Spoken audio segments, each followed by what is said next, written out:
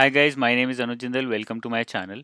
Today we are going to talk about uh, a set of intermediaries for housing finance company which has been recommended by a committee which was set up very recently. It's a very important topic under finance current affairs and a lot of questions can be asked from it. So let us start with the session but before starting let me tell you very briefly about the courses which are on offer uh, on my website which you can use for 2019 as well as 2020 RBI examinations. Now for 2019 a lot of student, uh, students have been asking me about things that they can do in order to complete their prep. A lot of students are already into revision uh, phase, have done the entire study themselves uh, which is a very good thing and now they want to complete their prep and make sure that they get through to phase 2 so in order to help those students there is a course on offer uh, which is for 4000 after 40 50% discount. It covers entire phase 1 uh, which includes quant reasoning english and general awareness. There is a ebook which has already been launched and there is also uh, the mock test complete mock test for phase 1 as well. If you are willing on uh, taking only general awareness and static GK, the spotlight has been very popular. Uh, all credit goes to the entire team as well as you guys who loved it and who have been using it not only for RBI but also for many other examinations like SBI, LIC, and I get messages every day uh, congratulating me and thanking me for the kind of uh, quality booklet that we've created on a monthly basis. Similarly, if you're willing on uh, you know completing your prep with respect to static GK and taking a lot of mocks in addition to understanding past year papers and using the ebook for practicing in case uh, you need you feel that you need more practice then you can use the phase 1 mock plus phase 1 general awareness course which is only for 1950 if you go to any other website you will see that all these things are available at much higher price. You get only mocks for somewhere around uh, 1100 or 1500 and if you include all the general awareness all the static gk uh, uh, a booklet past year papers, everything, it is going to cost more. So it has been kept at a very low price. You can use it. Uh, you can take these mocks and complete your prep so that you are assured that, okay, I'm going to make through uh, phase one and now I need to worry about phase two.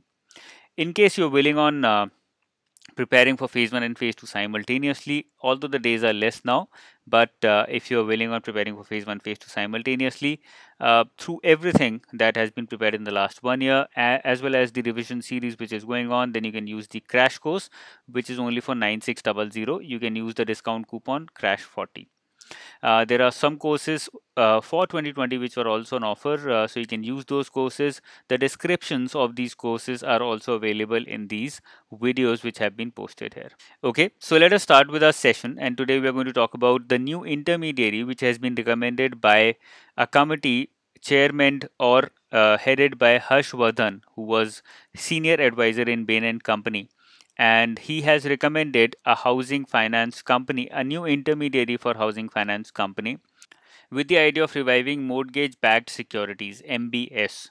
Now, if you don't know, let me tell you very briefly that mortgage backed securities, also called as CDOs, collateralized debt obligations, were the instruments which were behind the financial crisis of 2008.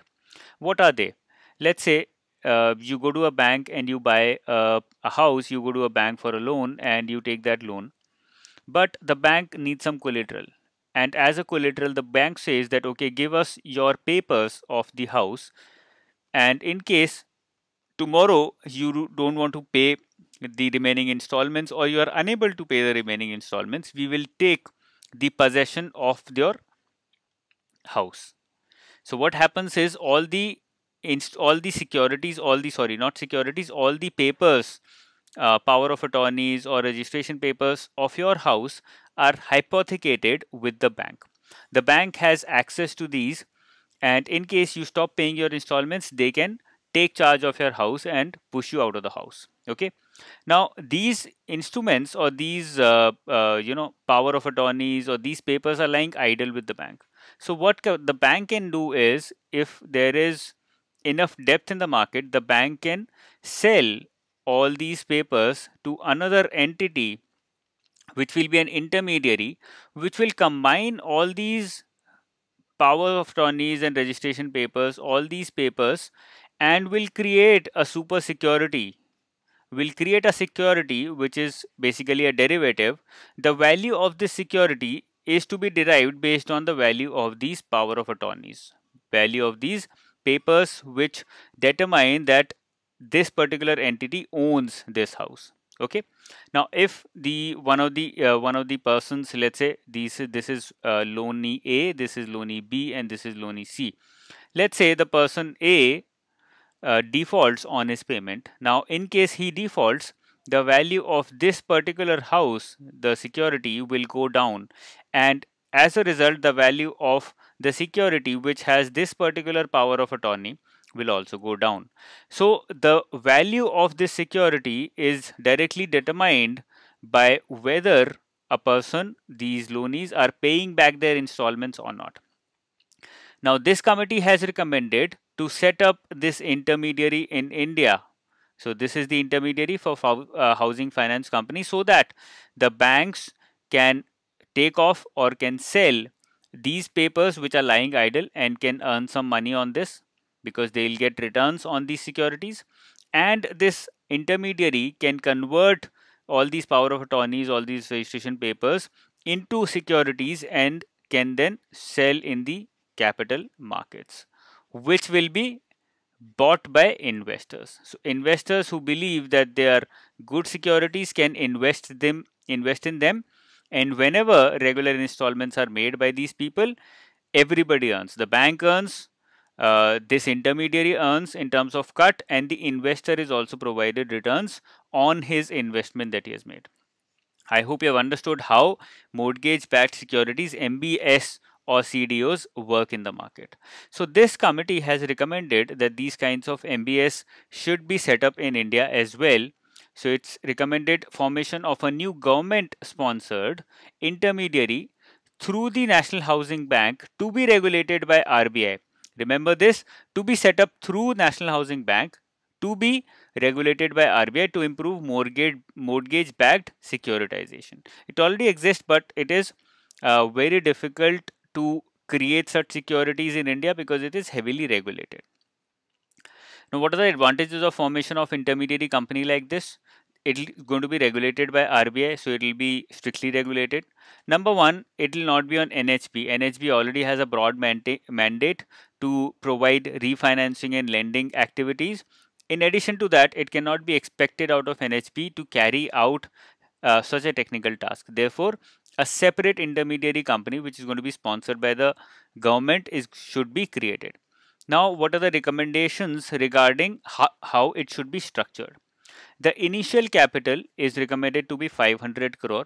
The stake of ownership will be government owned with 51% government stake, which is going to be brought down to or should be brought down to 26% over the next five years. Uh, the remaining 49% may be initially raised from multilateral agencies, different multilateral, international, and private agencies.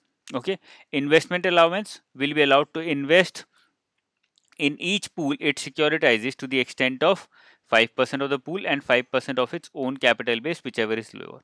So, uh, whenever this intermediary company is creating a pool of securities, it can also invest its own money, and that investment is limited to 5%. Okay, the overall aggregate limit of 50% capital of intermediary can be set as the limit for market making activities. So 50% of the capital will be kept aside. It cannot be invested by the intermediary. It will be used for market making or basically finance uh, marketing activities. Okay. So this is about market-based uh, uh, mortgage-based securities. This is the example which explains how an MBS will work, which I just explained to you.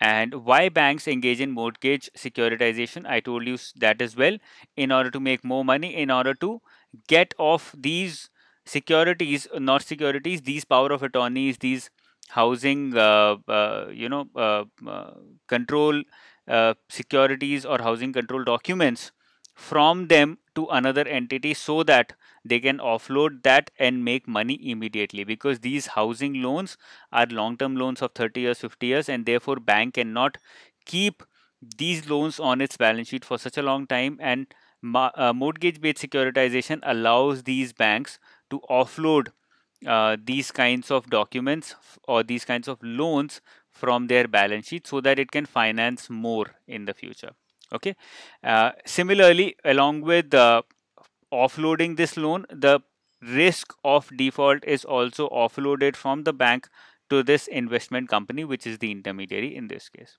okay so this is all about intermediary being recommended by this new committee by Mr. Harsh. I hope you have understood this lesson. If you liked it, do not forget to subscribe to the channel, press the bell icon so that you do not miss out on the future videos related to finance current. All the very best. Take care.